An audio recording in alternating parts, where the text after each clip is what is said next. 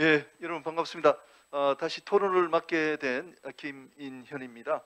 어, 오늘 두분 어, 저명하신 어, 여성 전문가들이 발표를 들었고 이제 두 분 또 전문가이신 두 분 남성들의 어, 토론을 듣도록 하겠습니다.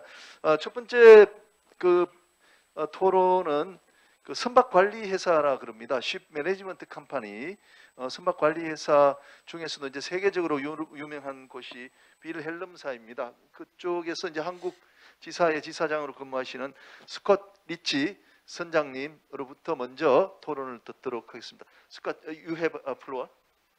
10 minutes. Af- 네, 여러분 감사합니다. 네, 잘 들리시죠? 네, 일단 먼저 감사합니다. 이렇게 초청을 해주셔서 감사합니다. 네, 아까 속에서 들으셨던 것처럼 저는 해양업계에서 약 45년 동안 일을 해왔습니다. 젊을 때부터 이제 시작을 했습니다. 그래서 여러 가지 아, 세계 다양한 국가에서 다양한 해양업계에서 일을 해왔습니다. 그리고 정말 기쁘다라고 생각하는 것은 정말 많은 여성분들께서 이제 이 해양 산업에도 종사하고 계신다라는 것입니다. 예전에는 당연히 굉장히 남성 지배적인 그런 산업이었는데요. 네, 그리고 정말 100% 제가 확신하건대 그리고 특히 오늘 이 어, 환경을 보고 또 미래를 내다봤을 때 이제 이 해양 업계에서는 어떤 것도 그러니까 여성과 남성이 정말 공평한 상황에서 경쟁할 수 있는 상태가 되었다라고 생각합니다. 그리고 어떤 경우에는 사실 어, 여성들이 더 어, 좋은 역할을 하는 경우도 있습니다. 또 나중에 더 말씀을 드리겠지만요. 어쨌든 아, 제가 일단 이 선박 관리에 대해서 좀 말씀을 드리도록 하겠습니다. 이 선박 관리라는 것은 어떤 경우에는 또 주로 어, 제3자로 역할을 합니다. 그러니까 선주들을 위해서 선박을 관리하는 역할을 하게 되는데요. 그러면 선주가 이제 선박을 구매를 하게 되면 이 모든 이제 전문가들을 다 채용을 해서 이 선박을 광- 관리를 하는 것이 아니라 일단 이것을 아웃소싱을 하게 됩니다. 그래서 관리 업무를 아웃소싱을 하면 특정 기업에서 여기에 참여를 하게 됩니다. 그래서 선박을 관리하는 이 ship management와 관련된 전문가들, 엔지니어들, 또 항해사들 그리고 다양한 그 관리자들과 또한 administrator들이 참여를 하게 됩니다. 그래서 이런 전문성을 가지고 이 선박을 관리를 하면서 전 세계 여러 항만들을 이제 이동을 하게 하는데요. 이 선박 관리라는 것은 여러 선주를 위해서 이렇게 관리하는 경우도 있습니다. 단지 한두 개가 아니라 여러 선주들을 이제 위해서 일을 하게 되는데요. 이렇게 됐을 때 장점은 이 선주들은 일단 상업적인 부분에 집중을 할 수 있다라는 것, 선박 운영의 상업적인 부분에 집중을 하고 이 어떤 화물이라든가 이것이 상선을 담당하는 그런 부서가 있어서 거기에서 집중을 하고 있습니다. 그리고 이것이 잘 운영이 되고 또한 인증을 받고 또 선원에 대한 관리라든가 이런 것들을 하게 되고요. 그렇기 때문에 이런 어, 선박의 관리에 대해서는 어, 걱정을 할 필요가 없게 됩니다. 그래서 management 쪽에 집중을 하고 이 선박의 관리는 외부에 아웃소싱을 하게 됩니다. 또 이러한 것의 장점이라고 한다면 또 경제성이라고 할 수가 있습니다. 모든 선주들 같은 경우에는 이렇게 어, 전문 어, administrator와 또한 엔지니어를 이렇게 채용을 한다라는 것이 굉장히 비용이 많이 들 수가 있습니다. 그래서 이런 전문성을 가진 것들은 한 기업에서 집중을 해서 이 선박 관리사가 담당을 하게 하는 겁니다. 그러면 이 선박 관리 회사에서는 굉장히 높은 수준으로 어, 서비스와 이런 스킬들을 좀 더 저렴한 비용으로 제공을 할 수가 있습니다. 직접 하는 것보다는 저렴을 하죠. 그리고 선주 같은 경우 예를 들면 현대상선 지금 여기도 계시지만 한국의 현대상선과 같은 기업에서는 정말 수백 대의 선박을 이제 보유를 하고 있는데요. 이런 선박 관리를 또 직접 하는 그런 경우도 있습니다. 하지만 소형 기업 같은 경우에는요. 열대 아니면 뭐 한 대만 있는 경우도 있고요. 그런 경우에는 이 선박 관리 회사에서 어, 이것을 아웃소싱 하는 것이 훨씬 더 좋은 솔루션일 수가 있습니다. 이렇게 하지 규모의 경제를 또 활용할 수가 있고 그 외에도 이런 선박 관리에 대한 그런 전문성을 또 활용을 할 수가 있기 때문입니다. 네, 그래서 이 선박 관리사의 역할이라는 것은요. 이런 선박들이 모든 이 선원들에 대한 전문성을 확인하고 또한 인증을 받을 수 있게 하는 것 이것이 다 규정에 따라서 운영이 될 수 있도록 하는 것입니다. 그리고 선박에 대한 인증 관리도 있습니다. 또 아시는 것과 같이 모든 것들이 지금 안전이라는 것이 굉장히 중요한 세상이 되고 있습니다. 가장 또 중요하고요. 그리고 또 여러 가지 기계라든가 또 선박에 올라와 있는 그런 선상의 그런 기기들 아주 작은 그런 사소한 그런 부속품까지도 인증이 필요한 경우들이 있습니다. 그래서 이런 경우에 이 선박에 대해서 인증이 제대로 이루어 져 있는지 또 주기적으로 이것을 점검을 하고 최소 기준에 맞춰서 준수하도록 확인을 하고 있습니다. 그래서 선박 관리 회사에서 하는 역할이 그렇다는 것이고요. 또 그 외에는 이 선주와 여러 가지 조율을 통해서 어, 이 선박이 뭐 부산에 있어야 될지, 그러니까 부산에서 이제 시작을 해서 그리고 이런 이제 상업적인 그런 운항을 시작해서 그러면 이제 상선과를 담당하는 그런 부서에서 저희에게 이제 자문을 구해서 요청을 해서 어떻게 이것이 이동을 할지 또 어떤 서비스가 필요한지를 결정을 해서 이 선박이 계속 잘 운영될 수 있도록 하는 업무를 또 맡고 있습니다. 그리고 여러 가지 조직들과 또 전 세계 항만과 관련된 기관들과도 협업을 하고 있습니다. 네, 그래서 이것이 선박 관리 회사에서 하는 역할이고요. 이 excellence 그러니까 선주들을 위한 그런 탁월성을 위한 그런 서비스를 제공하는 것 그것을 경쟁력 있는 가격에 제공하는 업무를 하고 있습니다. 네, 그래서 일단 간단히 소개를 드렸습니다. 저희가 하는 업무에 대한 소개였습니다. so much. That's good. 네, 말씀 감사합니다. 어, 이 자신이 속해 있는 선박 관리회사 ship management company가 어떤 일을 하는지 그 역할을 이제 어, 말씀을 해 주셨습니다. 그 오늘 발표자와 그 토론자를 우리 그 이봉수 사장님께서 이제 순차적으로 잘 어, 초대를 하신 것 같습니다. 우선 그 이만 에히야 사장님 이집트에서 그 어떤 어, 상품을 이제 수출을 한다고 우리가 이제 생각을 해봅니다. 그러면 어, 이제 배에 실어 가지고 어, 미국 어떤 뭐 와싱턴 D.C.까지 간다 그러면 LA 항까지 이게 와야 될 겁니다. 그러면 배로서 일단 LA 항까지 이제 오게 되고 그다음에 LA 항에서 뭐 트럭이나 또 기차를 이용해서 또 와싱턴 D.C.까지 가고 그 와싱턴 D.C.에서 또 백화점에서는 어, 또 delivery를 통해서 이제 개인의 그 소비자의 집까지 가, 가게 될 겁니다. 어, 그래서 어, 지금 그 말씀하신 그 이제 스캇 리치 그 선장님은 그 선박에 이제 운송물이 시- 어, 실려 어, 있는 상태에서 그것을 얼마나 이제 안전하게 에, 운송하는가 하는 점을 이제 말씀을 해주셨습니다. 그런 일을 담당하는 어, 이제 회사가 바로 이제 ship management company라는 것이죠. 에, 그리고 이제 그 이제 글로리아 초이 부사장님은 이제 항만에서 이제 하역 작업을 얼마나 이제 그 안전하게 에, 또 비용을 적게 들여서 이 배에 싣느냐 하는 그런 일을 이제 담당을 하게 됩니다. 그래서 어, 우리가 처음에 출발은 이제 이만 예이압 그저 이집트에서 어, 떠난 그런 화물이 어, 우리 부산 신항만의 글로리아 초이 어, 부사장님을 통해서 배에 이제 안전하게 실렸고 그다음 어, 그 비렐름 어, 시- 선박 관리 회사에서 관리하는 그 선박에 그것이 실려 가지고 어, 지금 이제 태평양을 건너서 이제 가고 있습니다. 그래서 다음 우리 토론자는 어, 이종덕 삼성 SDS 어, 물류 그룹 장님이십니다. 어, 그 어, 이종덕 그 사장님 어, 저 박사께서는 이제 이 화물이 이제 어, LA 향에 이제 도착해서 이제 워싱턴 D.C.까지 가는 그 내륙에서의 그 수송 물류의 흐름 아마 그쪽에 대해서 이야기를 해 주실 것 같습니다. 박사님 부탁드리겠습니다. 네, 감사합니다. 그 이 아름다운 날씨에 이 아름다운 부산 도시에 와서 또 이 아름다운 분들과 같이 이렇게 컨퍼런스를 갖게 돼서 아, 대단히 영광입니다. 그 저는 서울에서 내려왔는데요. 어, 지금 어, 김님께서 말씀해주신 대로 그 내륙운송 쪽에 대해서 좀 말씀을 드리고자 합니다. 특별히 이번 세션이 이제 안전이 글로벌 물류에 미치는 영향과 그 대응에 대해서 어, 포커스를 갖고 있기 때문에 그 점에 대해서 잠깐 나누고자 합니다. 그 저희가 현재 코비드 19의 환경에 마- 만 2년 넘게 지금 살고 있습니다. 그다음에 지난주부터 어, 보도를 통해서 오미크론이라고 하는 또 변이 바이러스가 어, 나타나서 지금 미국을 중심으로 어, 유럽, 특히 일본은 완전히 shutdown을 했죠. 유일한 그 샷다운 나라가 됐고요.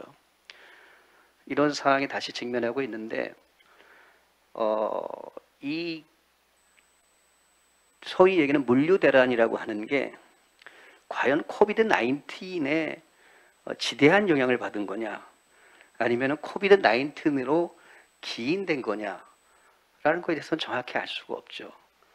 그러나 어, 물류 대란이 발생했던 그 시점을 보면은 어, 19년도 말에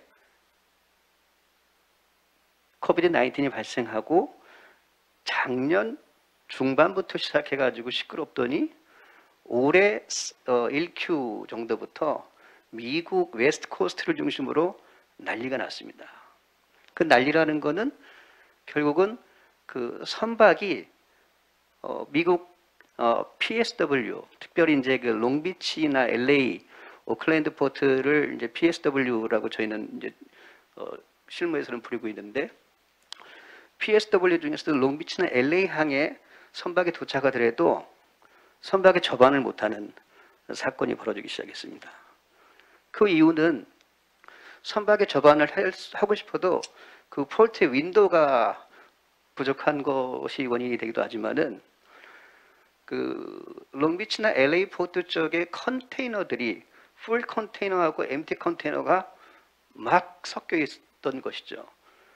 어, 그렇게 적체가 됐던 원인 중에 하나는 지금 우리 그 저 글로리아 초이 그 부사님께서 그 근무하시는 그런 그 하역 회사들이 이제 어, 선박이 부대에 붙으면 하역 작업을 시작해야 되는데 어, 롱비치 항에서 미국 내륙으로 운송하는 그 트럭 운송, 이 트럭의 그 헤드하고 컨테이너를 얹어 놓을 샤시가 어, 부족했던 것입니다. 근데 그게 갑자기 왜 부족했을까요? 과거 년도에는 그렇게 원활하게 잘 움직였던 것들이.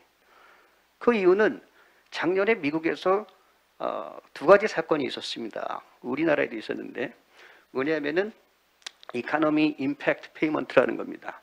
재난지원금이 미국에서 있었어요. 작년에 두 차례, 올해 한 차례 있었습니다. 그 재난지원금이 미국에서 첫 번째는 1200불, 두 번째는 600불, 올해는 1400불 이렇게 지불이 되는데 그것을 받은 그 미국의 국민들이 시장의 예상과는 다르게 그 pent-up demand, 보복성 소비를 시작한 겁니다.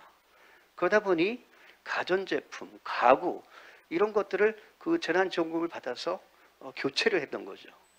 뭐 가전제품이나 가구들은 한 10년 정도 요즘 다 쓰지 않습니까? 그러니까 그런 그 잉여 자금이 들어오니까 그 돈을 가지고 어, 그러한 그 소비재들을 교체했던 거예요. 그래서 해운업계에서는 이 COVID 19이 터지면서 시황이 굉장히 안 좋을 거라고 최초 예상을 했는데 추려다 보니 갑자기 이 pent-up demand 때문에 보복성 소비 때문에 미국이 폭발을 한 겁니다. 소비가. 어, 그래서 어, 그러한 그 소비재를 구매를 하기 시작했는데 그게 어, 내륙에 있는 창고에 쌓이기 시작한 겁니다. 창고에 쌓이고 그게 계속 원활하게 그 판매가 됐으면 좋겠, 좋았을 텐데 그게 판매가 잘 안 되기 시작하니까 이제 그 수입 화물을 실었던 트럭과 샤시가 내륙에 있는 창고에 가서 컨테이너는 내려놓고 샤시도 거기에 두고 트럭만 돌아오는 현상이 발생됐어요. 그러다 보니까 실질적으로 port에서 West Coast port에서 트럭이 있다고 하더라도 컨테이너를 싣고 갈 chassis가 부족하고 또 컨, 그 트럭도 부족하고 또 이 롱비치나 LA port의 낙후된 환경, 그 port의 낙후된 환경이 그 pent-up demand의 그 수입 물량들을 소화를 못하는 물리적인 현상이 발생하고 또 한 가지는 COVID가 터졌을 때 어, 보도에서 많이 들으셨겠지만은 어, West Coast에 있는 노동자들이 또 많이 사망을 하는 일들이 발생했습니다. 그러다 보니까 드라이버들이 또 부족하고 또 West Coast의 그 인프라가 안 좋다 보니까 그 드라이버들이 inland 소위 얘기하는 배송 있지 않습니까? 우리 뭐 그 쿠팡이나 뭐 이런 그 CJ 배송 같은 거. 그 배송을 하는 운전자들로 드라이버들로 많이 교체가 됐다는 겁니다. 현재도 미국에서 이 인력 이동 turnover가 굉장히 심해가지고 인건비가 상당히 올라가는 그런 상황이 있습니다. 그러한 복합적인 요인들이 쌓이다 보니까 이 미국의 내륙 운송이 원활하게 진행이 되지 못했던 거죠. 근데 상황이 이렇게 끝났으면 좋은데 결국은 COVID 19이 중대한 영향을 미쳤는지는 확실치 않으나 COVID 19으로 기인돼서 그러한 현상들이 발생했는데 이러한 현상들이 발생한 걸로 끝나지 않고 어, 기업들에게 결과적으로 어떠한 현상들이 일어났냐면은 롱비치나 LA에 그 수출을 하였던 미국으로 수출하였던 국내 기업들이 컨테이너가 제때 내륙으로 운송이 되지 못했겠죠. 아까 첫 번째 우리 발제자인 그 이만 박사님이 이제 운송 지원에 대해서 어, 말씀하셨는데 운송 지연은 최근에는 화주들, 뭐 client나 무슨 merchant들이 더 이상 선사를 상대로 최근에는 얘기를 꺼낼 수가 없는 그 agenda가 됐어요. 지금 그 미국 West Coast에 도착하는 선박의 정시율이 10%가 안 됩니다. 평균 그 delivery 어, vessel delay가 어, 오늘 아침 그 JOC 기준으로 13일입니다. 오늘 아침 JOC 기준으로 어, 11월 25일자 기준으로 어, 미국 West Coast 롱비치 근역에 떠 있는 선박의 수가 86척입니다. 그 86척의 화물가액이 3조 원 이상이 됩니다. 그러면 수출을 해놓고도 미국으로 제때 내륙으로 뿌려주지 못하는 현상들이 발생을 했고, 그러니까 물량을 팔, 팔지 못했겠죠. 팔지 못하고 운송 지연이 발생한 것만으로도 이 어, 수출 기업들이나 화주들, 특히 consignee들은 굉장히 그 심기가 불편할 텐데 컨테이너가 West Coast에서 inland로 제때 운송이 되지 못하므로 비용이 발생하기 시작하는데 여기 계신 분들 이제 물류 쪽에 관련된 분들이라 그 내용을 아시겠지만 demurrage라는 비용이 생겼습니다. demurrage는 사실 그 일반적이거나 통상적인 경우에 있어서는 사실 그렇게 큰 금액은 아닙니다. 컨테이너당 free day가 도- 초과하게 되면은 하루에 한 10불이나 한 5불 정도 그렇게 받던 비용인데 이게 국내 유수의 기업이 올해 한 해 동안 얼마가 발생한지 아십니까? 무려 한 회사가 천억이 발생됐습니다. 천억의 규모를 어, 상상을 할 수 있으시겠습니까?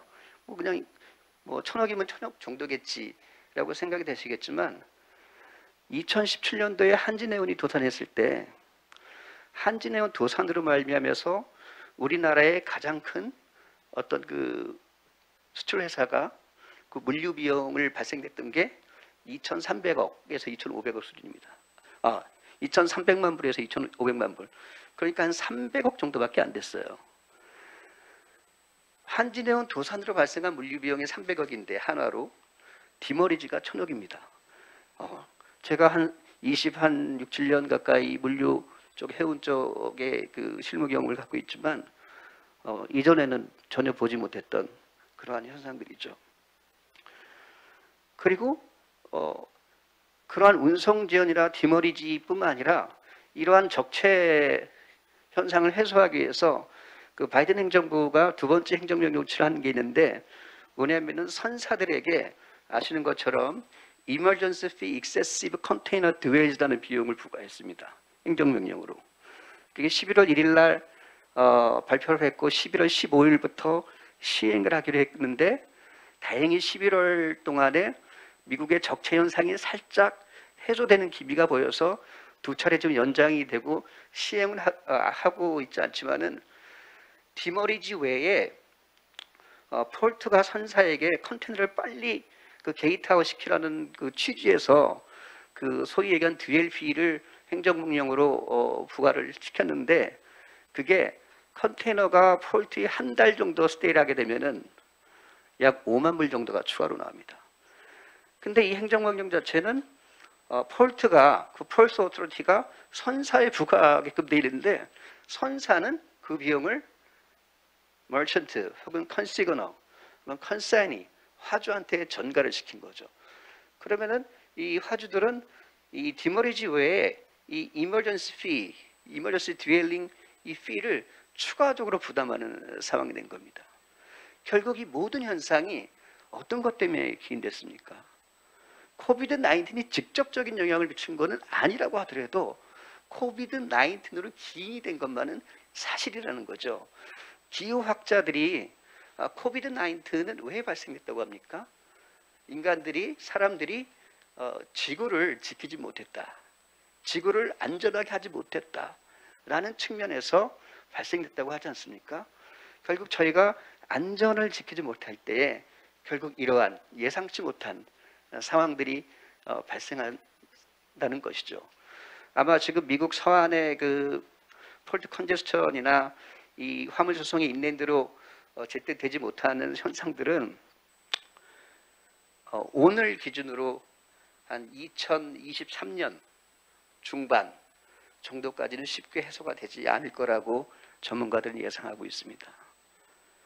아, 안전을 지키지 못할 때 이런 현상들이 발생하고 앞으로는 이보다 더 심각한 어, 현상들이 발생할 수 있다고 생각이 됩니다. 예, 여기까지 일단 하겠습니다. 예. 아, 이종덕 박사님 대단히 감사합니다. 이종덕 박사님 삼성 SDS라는 그런 어, 그 종합 물류 기업에 계시기 때문에 어, 미국 내에서 일어나는 지금 물류의 막힘 현상을 누구보다 잘 아시고 어, 그 원인에 대해서 좀 소상하게 설명을 해 주셨습니다. 이게 모두 이제 코비드 19 때문에 생겼는데 이렇게 이제 우리가 안전을 지키지 못하면은 어, 국제 무역에도 큰 영향을 미친다는 점을 어, 특별히 이제 강조를 해 주셨습니다. 에, 뭐 두 분의 1차 토론 어, 이것으로 이제 끝이 났습니다. 아직도 시간이 있고 어, 우리 이집트에서 이만 박사님께서 어, 우리 그 이 자리에 계신 우리 어, 청중들께 또 하실 말씀이 있다고 어, 연락을 주셨습니다. 이만, do you have a floor? 닥터 이만.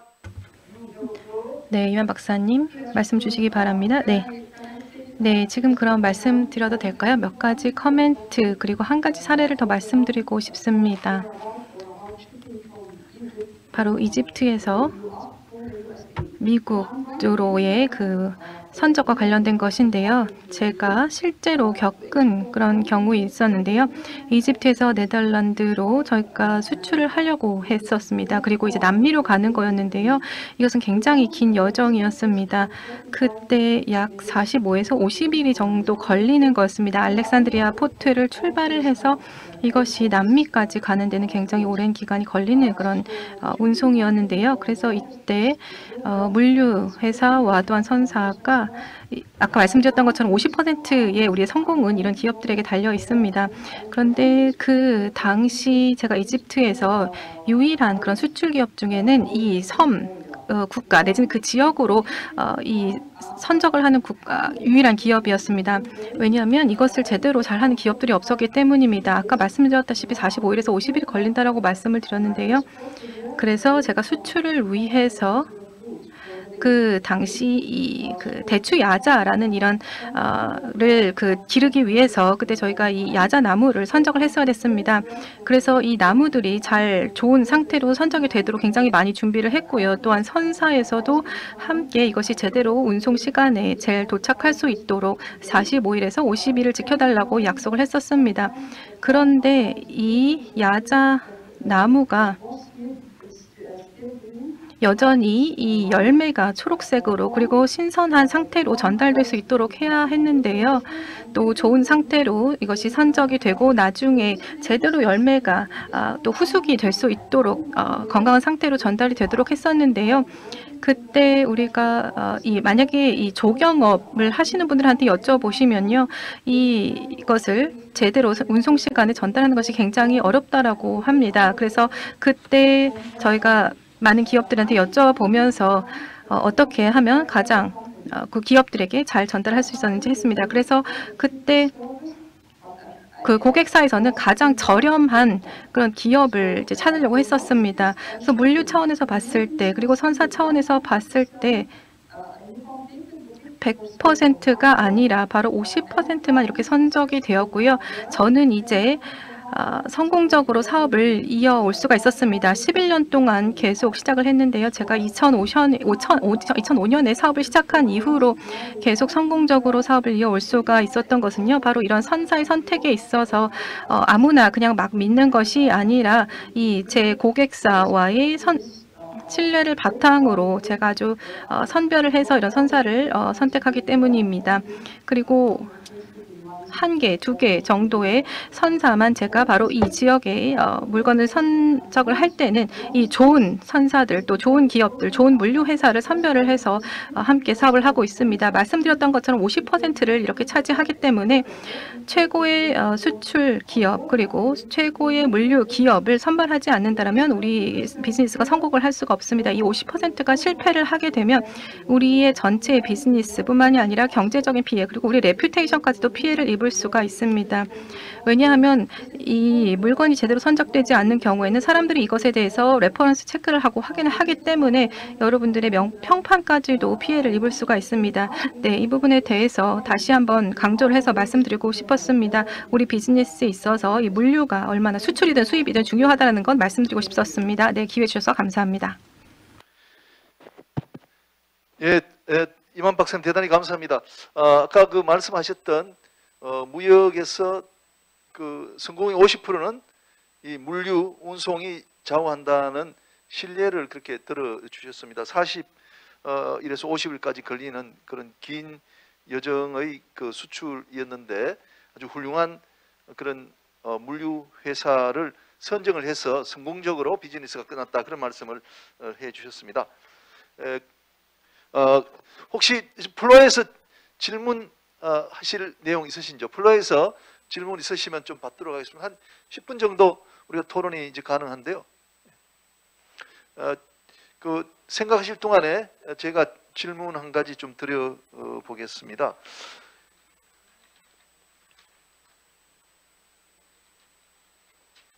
그 이제 글로리아 그 초이 우리 부사장님이 말씀하셨는데 와카시오라는 그 선박이 좌초 사고가 아, 났을 때 그 두 사람의 선원이 1년 이상 그 배에서 근무를 하고 있었다는 거죠. 어, 저도 이제 그 승선할 때 한 10개월 넘어가면은 굉장히 그 피곤합니다. 그래서 휴가를 제때 가야 되는데 이 코비드 19 때문에 휴가를 제대로 갈 수가 없는 겁니다. 이 선원들 교체가 안 되기 때문에 그래서 1년 이상 근무하는 선원들 숫자가 점점 많아지고 있고 이 와카시오 사고에도 어, 그렇게 장기간 승선한 선원들이 영향을 미친 것이 아닌가 하는 취지의 이 말씀을 해주셨거든요. 그래서 어 제가 어 그 선원 관리를 담당하고 있는 스캇 그 리치 선장님께 한번 여쭤보겠습니다. 어 지금 코비드 19 때문에 그 선원들이 상륙 그러니까 선원들의 휴가를 이제 교대가 제때 잘 되고 있는지 교대가 되지 않아서 어, 피로도가 누적돼서 그런 피로가 이제 사고에 영향을 미친 그런 예가 있는지 그걸 여쭤보겠습니다. 스캇.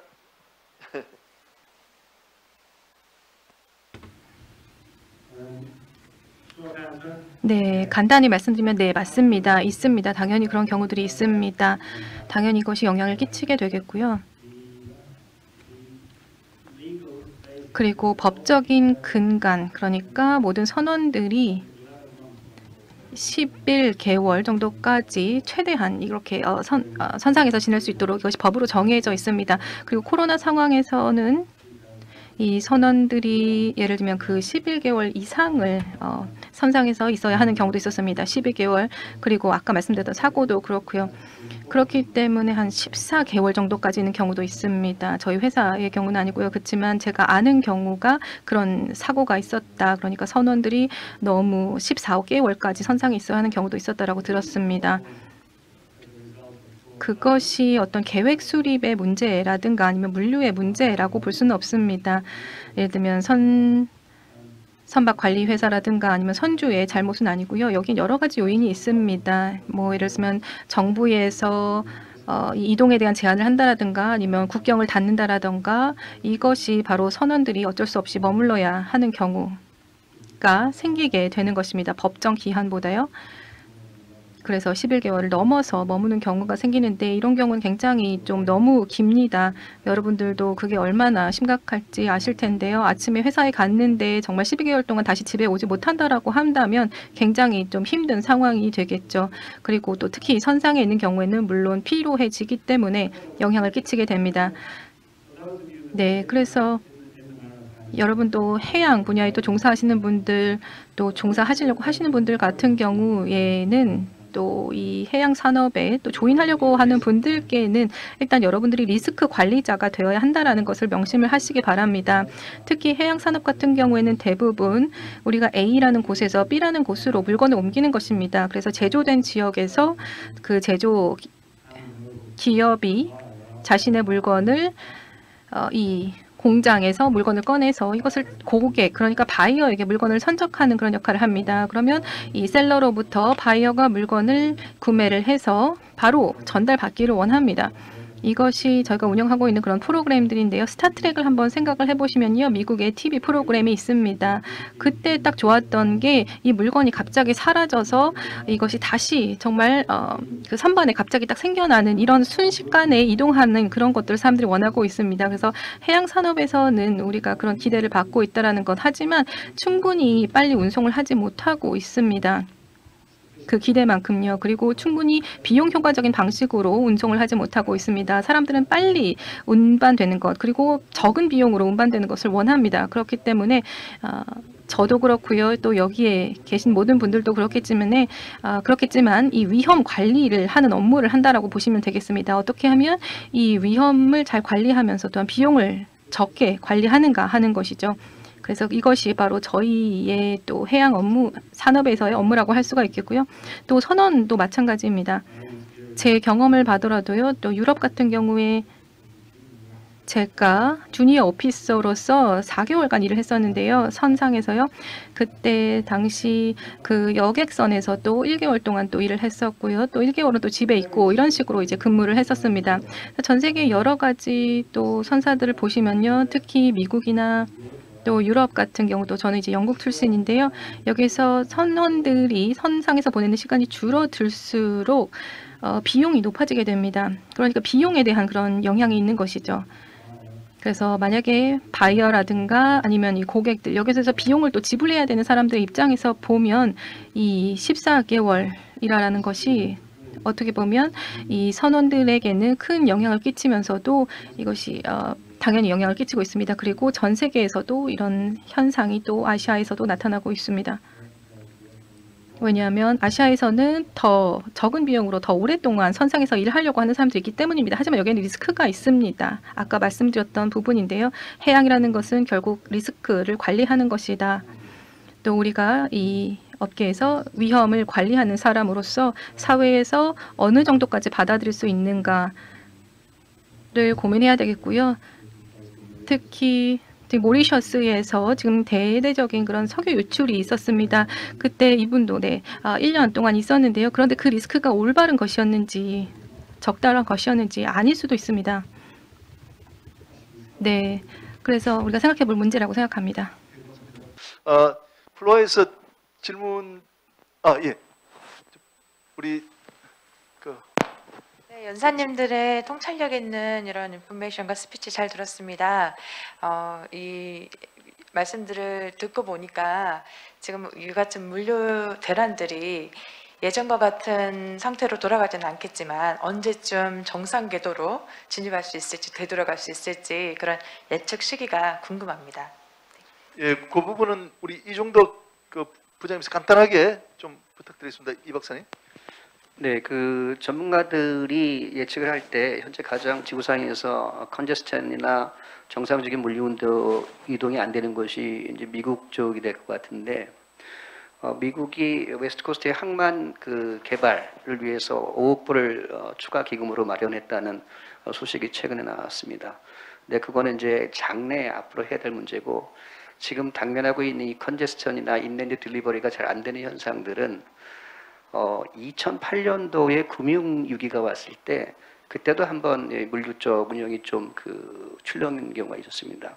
그때는 이제 아, 지금처럼 지금과 반대로 이제 해운 선사들의 가격이 어, 땅바닥을 치고 굉장히 어려웠던 상황인데 어 그게 어, 프리폴 그 자연적인 현상으로 회귀하는데 한 25개월 정도가 소요됐다라는 그런 의견들이 있습니다. 그래서 어, 오늘 현재로 볼 때 지금이 이제 COVID 19으로 기인한 어떤 물류 대란의 가장 그 피크 정도에 있다고 한다면은 혹은 뭐 1개월 전, 뭐 한 3개월 전이 피크라고 한다면 그로부터 최소한 20개월, 20개월 이상의 시간이 소요가 돼야 아, 자연스런 그 free fall로 인해서 정상적으로 돌아가지 않을까 싶은데 전문가들의 예측은 정상적으로 돌아간다고 하더라도 코비드 19 이전에 어떤 선사들의 그 상황으로 완전히 회귀하지는 않을 거다.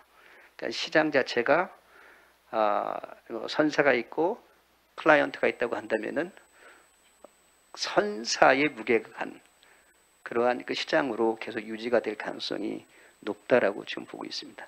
네. 예, 감사합니다. 어, 제가 이제 마지막으로 정리를 좀 하도록 하겠습니다. 우리 세션이 어, 해양 어, 분야에서 여성의 이제 저- 역할이기 때문에 어, 제가 이제 각 분야별로 여성이 어, 우리 분야에 차지하는 비중이 얼마인지 예,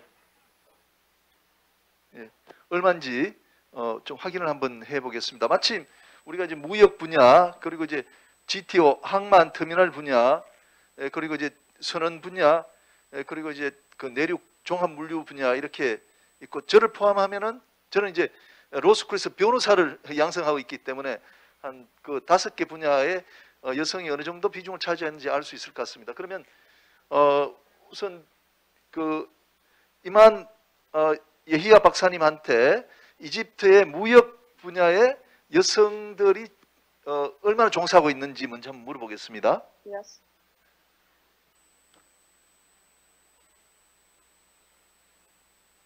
Well, unfortunately, only 네, 안타깝게도 글쎄요, 대부분이 남성들입니다. 왜냐하면 그 저희 이제 비즈니스의 어떤 그 속성상 대부분의 이 파트너들과 함께 일을 하는 상황에서는 남자분들이 굉장히 많고요. 그리고 또 남성들과 여성들이 하는 업무가 또 다르고 또한 또 대우도 다릅니다. 하지만 더 많은 여성들이 일할 수 있으면 좋겠습니다. 저희는 일곱 명의 남성들이 일을 하고 있고요. 이 중에 두 분이 지금 물류를 담당을 하고 있고 한 명은 섬, 선사 관리를 하고 있고요. 또 한 분은 고객 이라든가 아니면 그 관세와 관련된 부분을 담당을 하고 있습니다. 그리고 또 다른 또 남성 직원이 있는데요. 그분은 또 화물과 또 그 외 다른 고객 관리들을 하고 있습니다. 그래서 저희 이제 세 명의 또 여성 직원이 있습니다. 네, 일단 퍼센트로 치면 대략 보실 수 있겠습니다. 감사합니다. 자, 다음은 우리 글로리아 초이 부사장님께 여쭤보겠습니다.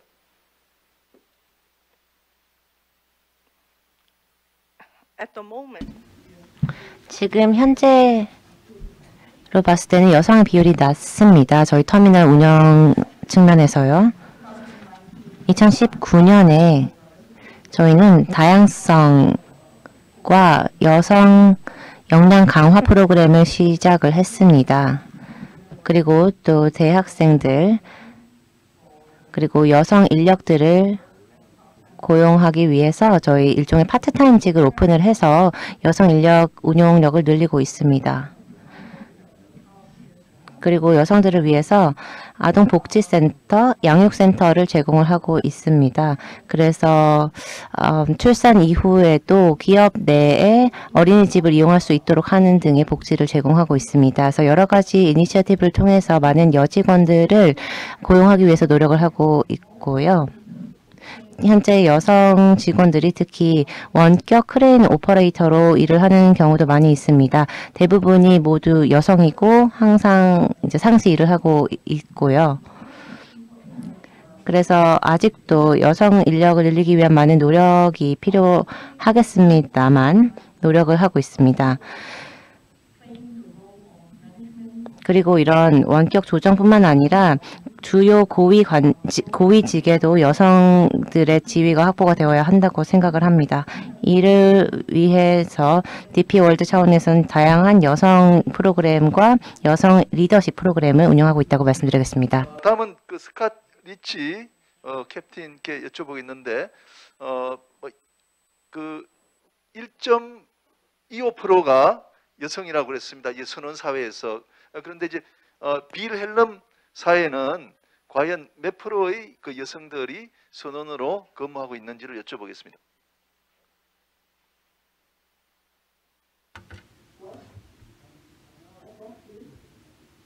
Can, How many women? Ah, okay, I'm sorry.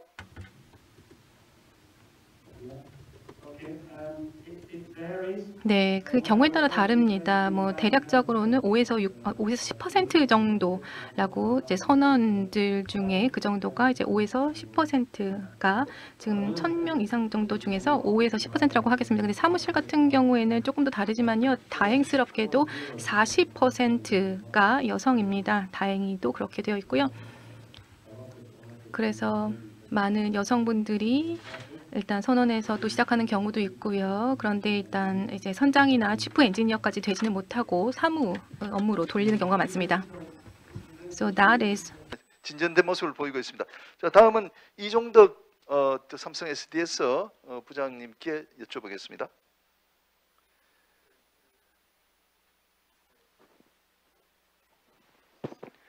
어, 저희 회사 일단 물류 쪽에 대해서 좀 말씀을 드리면은 어, 미국 법적 개념으로 이제 해운에서 하는 이제 BOCC라고 하고 어, 그러니까 선박을 소유한 보유한 그러한 회사는 BOCC라고 하고 선박을 어, 보유하지 않고 이제 그 어, 해운 운송을 하곤 하는 회사를 미국 법적 개념에서 NBOCC 혹은 프레이포더라고 하지 않습니까? 지금 이제 BOCC에 대해서는 이제 두 분께서 설명을 해주셨고 NVOCC 같은 경우는 다행히도 아시는 것처럼 minimum 70% 혹은 65% 이상이 절대 다수가 여성분들입니다. 어, 그 이유 자체는 이제 사무직이어서 어, 일하기가 어, 안정돼 있고 그 다음에 이게 domestic의 일이 아니라 이제 글로벌 국가 간의 일이기 때문에 어, 사실 굉장히 dynamic한 어, 점도 있어서 어, 여성들이 종사하기에는 굉장히 그 어, globalization이나 어떤 dynamic이 가능한 일이라고 생각되는데 어, NVOCC에 머무르지 않고 지금 VOCC와 NVOCC의 장벽이 무너지고 NVOCC와 e-commerce 회사들의 장벽이 무너지고 있지 않습니까? 그래서 이 분야에 대해서 종합물류 회사로서 여성들의 참여는 앞으로 더욱 증가될 것이라고 이렇게 생각이 됩니다. 예, 감사합니다. 어, 제가 마지막으로 우리 법조에 대해서 좀 말씀을 드리겠습니다. 어, 여성 진출이 가장 활발한 곳이 법조라고 생각됩니다. 우리 법원의 판사님 숫자는 여성이 더 많습니다. 우리 고려대학교 어, 로스쿨의 입학 정원이 어, 인테이크가 1년에 120명입니다. 어, 한 번은 어, 70명이 여학생이 뽑혔어요. 그래서 여학생이 한 60%된 때도 있었는데 지금 보통 여학생이 한 40%, 남학생이 60% 정도 어, 됩니다. 그리고 제가 어, 가르치는 해상 변호사가 되는 과정에도 10명이 들으면 한 4명 정도는 어, 여학생들이 이렇게 차지하고 우리나라의 해상 변호사들이 한 50명 정도 있는데 한 10명 정도는 아마 여성 어, 변호사입니다. 그리고 마지막으로 어, 우리 집에 대해서 말씀드리면 제가 딸이 셋이기 때문에 우리 집사람까지 포함하면 75%가 여성입니다. 우리나라 전체가 한 75%가 여성으로 비중을 차지했으면 좋을 것 같습니다. 여러분 감사합니다. 오늘 이걸로 마치겠습니다. 예.